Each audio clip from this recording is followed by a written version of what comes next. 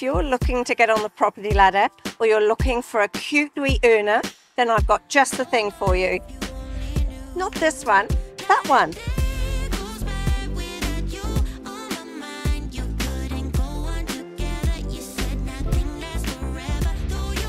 This really does remind me of my first cottage in the UK. It's really, really cute. You can cook dinner while talking to your friends, share a beautiful meal, and then relax in the living room.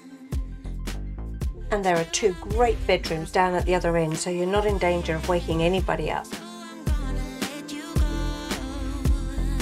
I personally love just how much sunlight filters through into this room.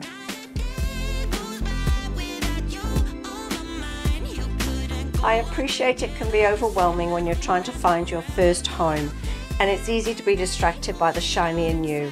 But this, with its wooden floors, classic styling, has so much more to offer you. See you at the weekend.